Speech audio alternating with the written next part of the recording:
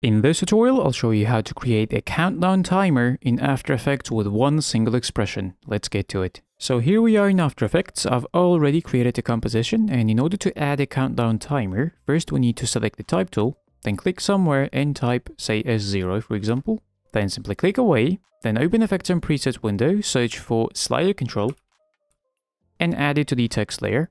Then expand the settings of this text layer, go to text, then hold the Alt or the Option key and left click on the source text.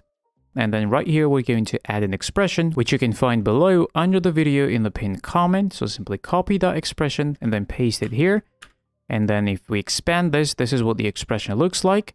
And if you get the error saying that the expression does not work, that means we need to go up to File, then into the project settings, click on the expressions, and here in the expression engine, set it to Legacy ExtendScript, then click OK, and that should fix the expression. You can see now we have double zeros in the minutes as well as in the seconds.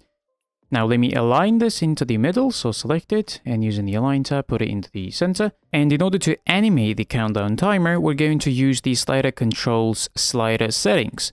But before we do though, make sure that the timeline that you're using is long enough for the duration that you're going to set. In my case, the timeline is one minute long.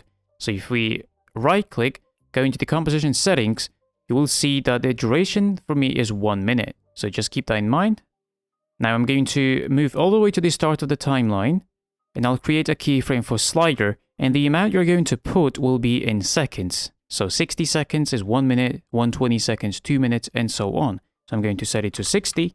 Then press U on a keyboard and you should see the keyframe created on the timeline. Then move all the way to the end of the timeline and set it to 0. Now, if you play this from the beginning, you'll see that we get the countdown from 1 minute all the way to 0. And that's how you create a countdown timer in After Effects with one single expression. Thanks for watching, see you in the next one, peace out.